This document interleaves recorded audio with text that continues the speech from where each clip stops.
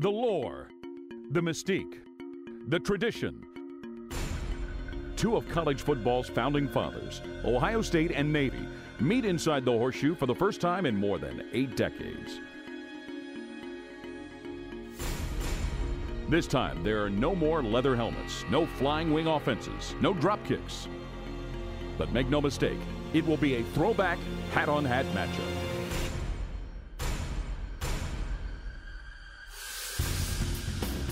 With their top ranked rushing attack, the midshipmen have restored a proud tradition.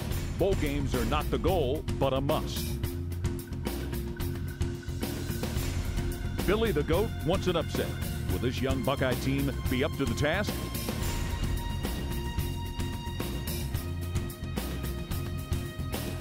Buckle up, folks. Whether it's 1931 or 2009, toe meets leather in mere moments. It's football season.